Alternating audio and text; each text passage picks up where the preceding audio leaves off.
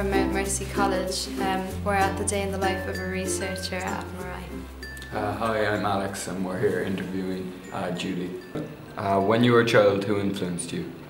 Um, when my dad was a science teacher, um, so when we were growing up, he was always teaching us little bits of science. In the car going to school, he was trying to teach us the periodic table.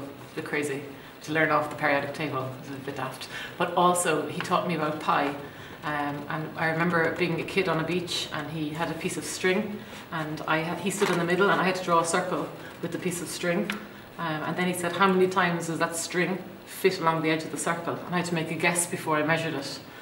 So I don't know, I said, he said, well, is it three times? I said, yeah, it's probably more than three. Is it more than four? No, it's less than four. And then we suddenly kind of, you get down and we only got to less than three and a half or something. But that's a guess for pi.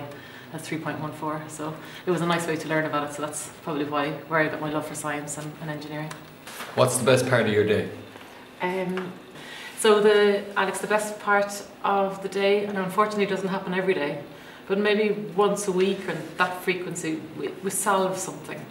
Uh, maybe myself, my own, or maybe with the group, we, we have a problem, it's not working, and we're banging our head against the wall for four days, five days, and we don't, we've tried everything, and we've run out of avenues and then suddenly we solve it. And it's that but it's like solving a maths problem.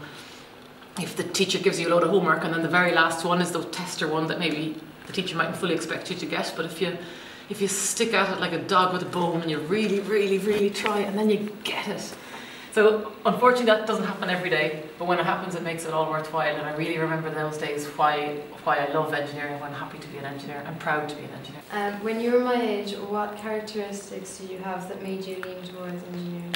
It's a good way to think about it because it helps you uh, kind of really puzzle out if you're suited to be an engineer or not.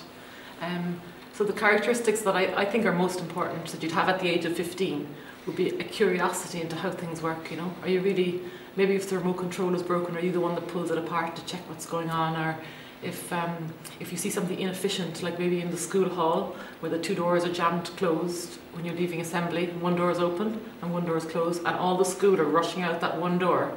And you're saying, why don't you open the other door? If you have that natural ability to see an inefficiency and see a solution, if that's your natural trait, um, if you can identify with that, I think you can be suited to be an engineer. The other thing is kind of pride in your work. You know, if you do a nice job or do some good quality, um, a little project that you, you know, if you're if you're kind of happy that you did that and your shoulders go back a little bit and you're proud you did it. Um, people joke that engineers are a little bit cocky, so maybe that's where I come from. We're proud of achieving something of a good standard.